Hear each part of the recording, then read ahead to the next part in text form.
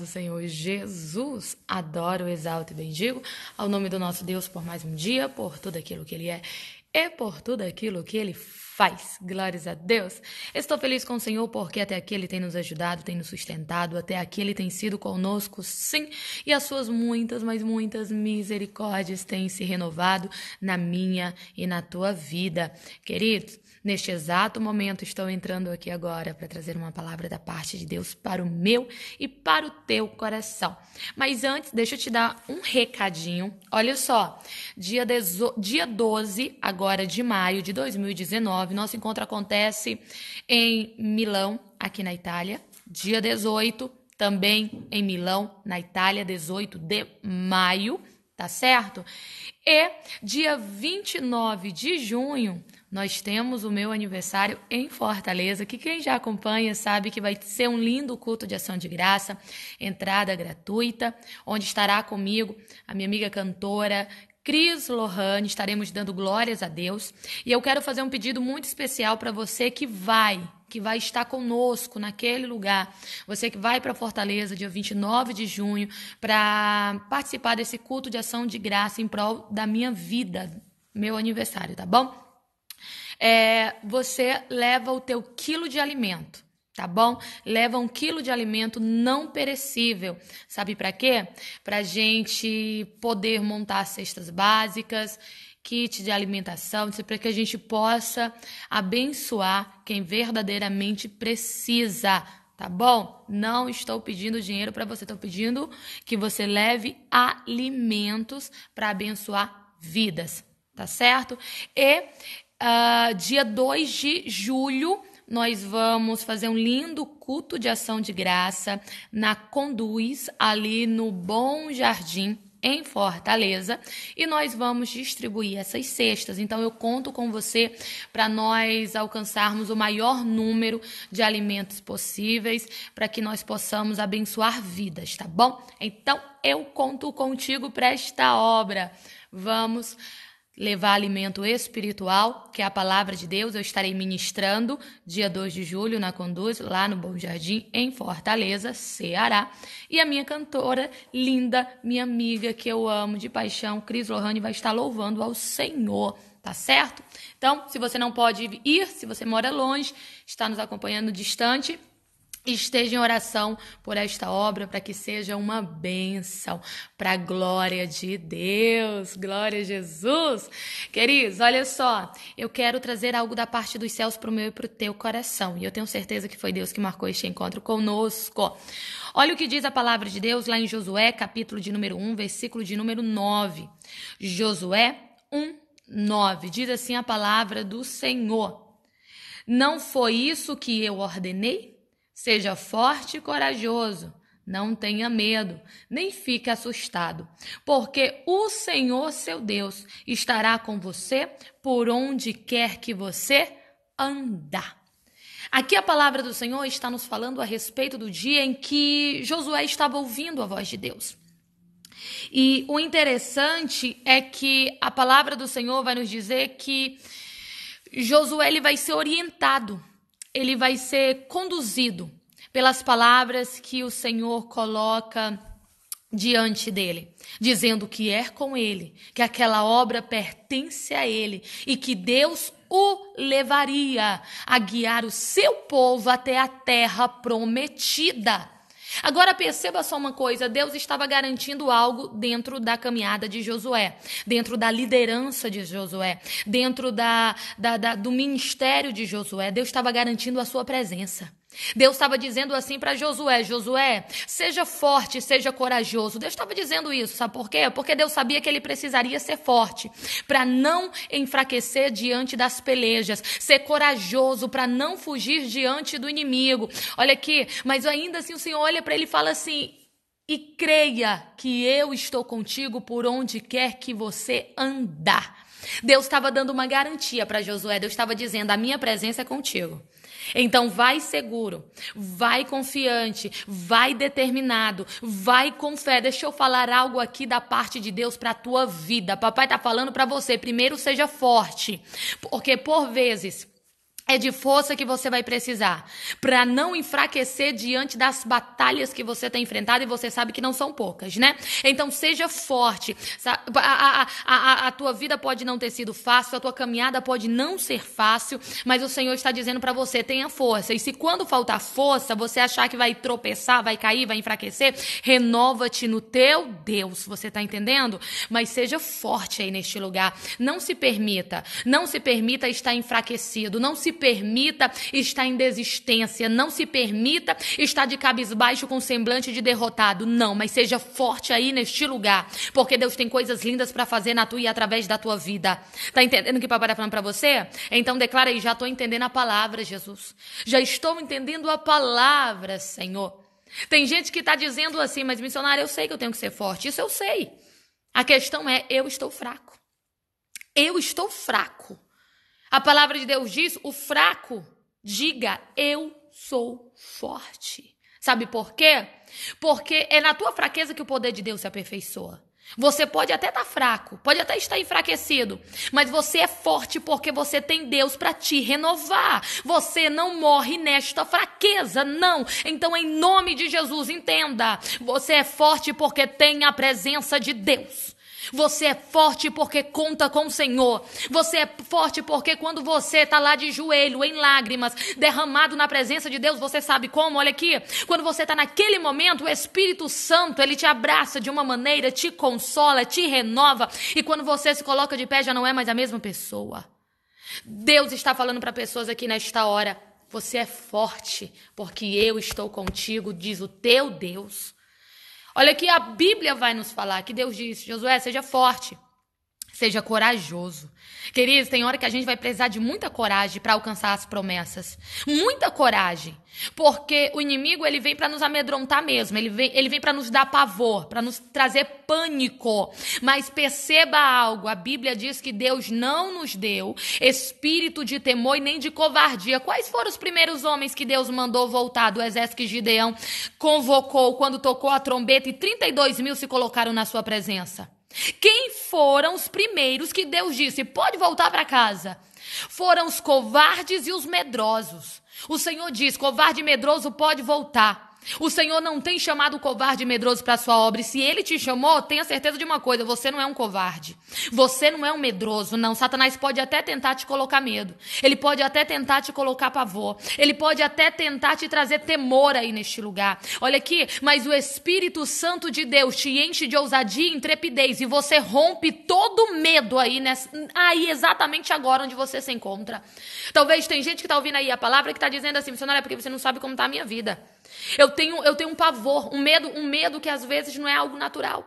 Tem gente que está aqui ouvindo a palavra de Deus para você ter ideia, que tem medo de sair de casa, que tem medo de ficar sozinho no quarto escuro, que tem medo de sair da, da, da, da, da sala da sala para o banheiro, que tem medo de, de estar em um ambiente, em um ambiente isolado. E papai está falando para você nesta hora, todo medo de raiz diabólica, de raiz maligna, ele está quebrando na tua vida, sabe por quê? Porque ele te chamou e você não é covarde, você não é medroso, o diabo pode até estar tentando atingir as tuas emoções, mas você não é isso. Você não é uma pessoa depressiva.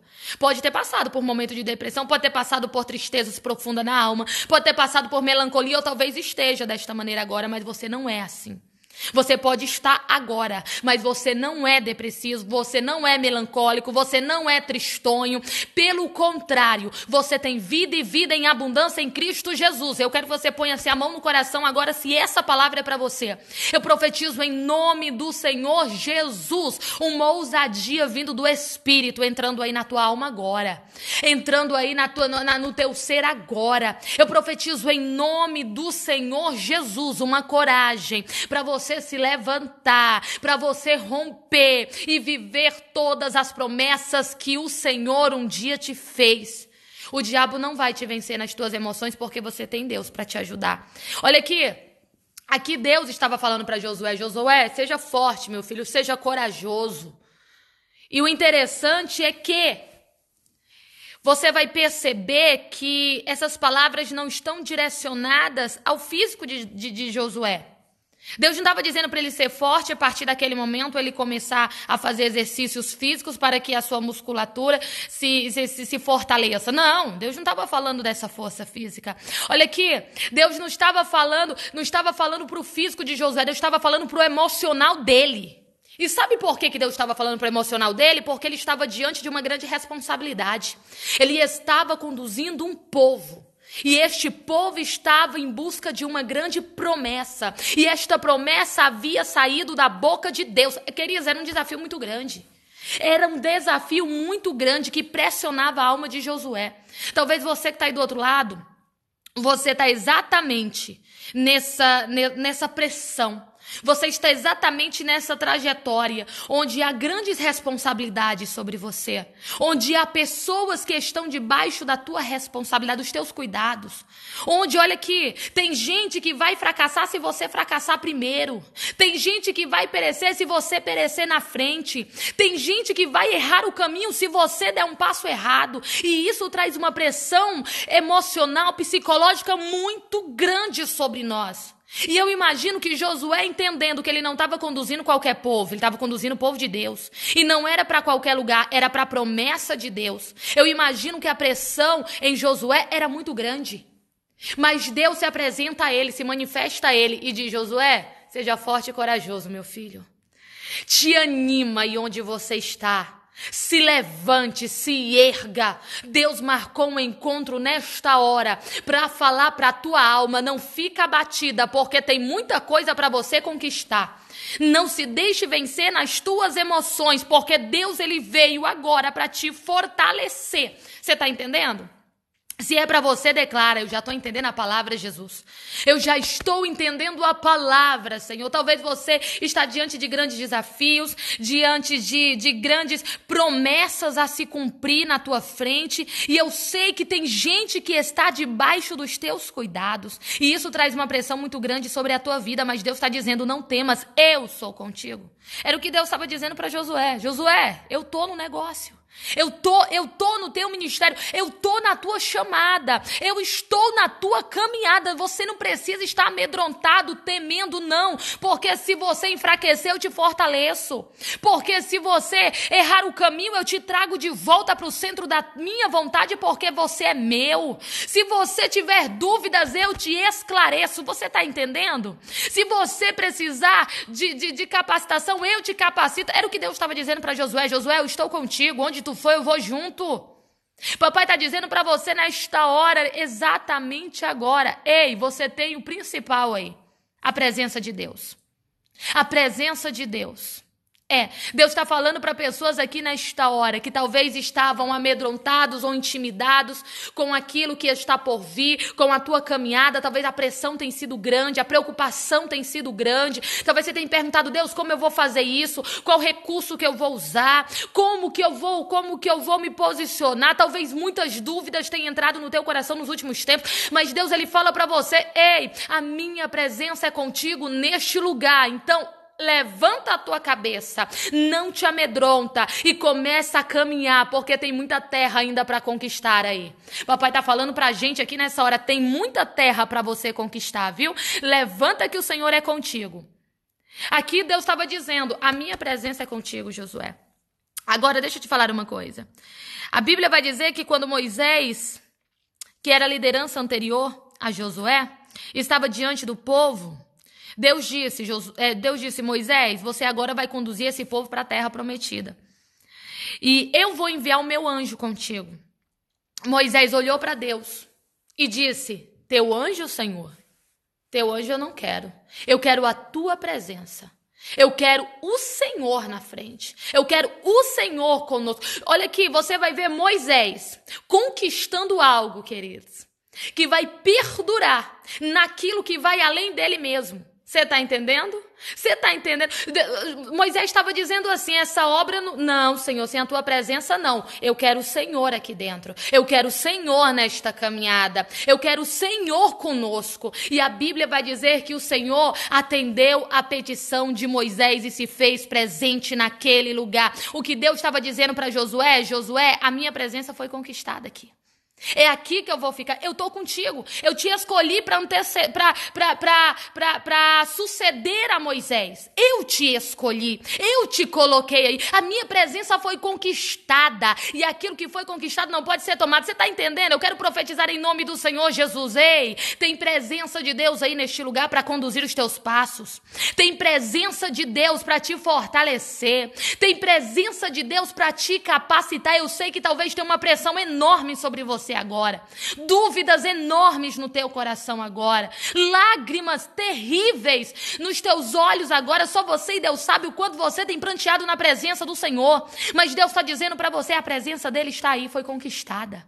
A presença de Deus foi conquistada e ela te acompanha. Papai está falando para você nesta hora, neste exato momento: levanta a tua cabeça, que é você mesmo que Deus vai usar. Levanta a tua cabeça, que você vai longe aí neste lugar. Levanta a tua cabeça, está só começando começando. Deus estava dizendo para Josué: Josué, tem tanta coisa ainda.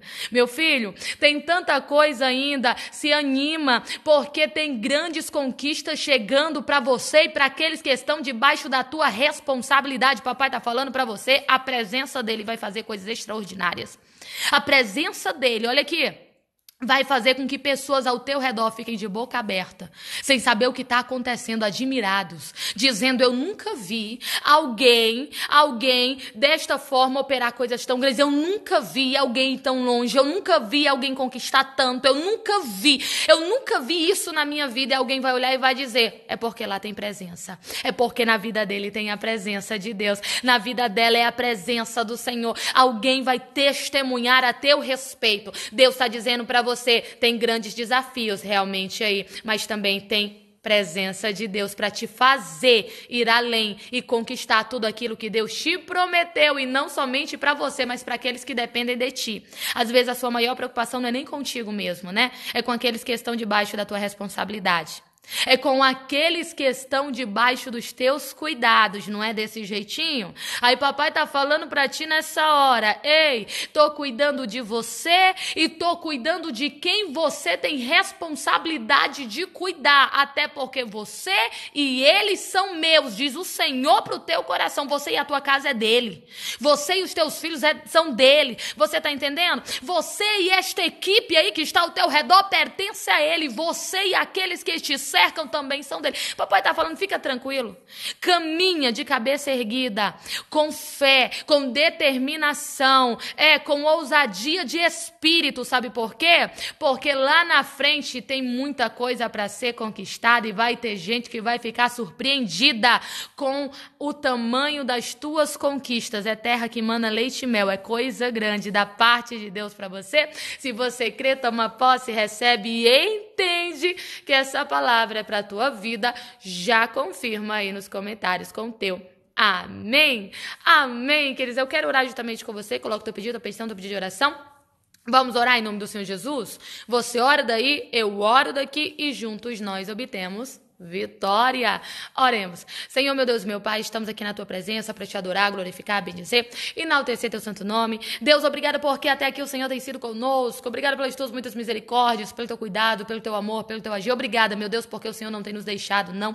Quantas vezes a pressão da vida, Senhor, vem sobre nós? Quantas vezes o medo, Deus, o temor, quantas vezes a tristeza, a melancolia, nós estamos, nós, nós, nós sentimos na nossa alma e nós achamos que não vamos prosseguir mas é nessa hora que o Senhor nos faz entender que a tua presença nos faz romper, que a tua presença nos faz ir além, que a tua presença nos faz mais do que vencedores. Nós não precisamos estar preocupados, não, mas temos que estar sensíveis ao teu direcionamento, porque o que o Senhor vai fazer é coisa grande e extraordinária, e muita gente vai ficar surpreendida. Meu Deus, com o teu agir e o teu operar na nossa história. Toma a nossa vida, toma a nossa casa, a nossa família, Deus, toma os nossos nas tuas mãos e faz aquilo que tu queres. Assim nós te pedimos e já te agradecemos em nome de Jesus. Se você crê, toma posse e recebe, confirma aí nos comentários com o teu.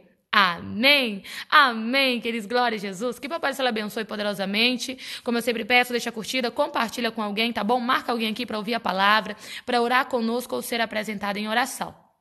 Beijo grande no coração. Fica na paz de Cristo. Te amo em Cristo Jesus. Amém.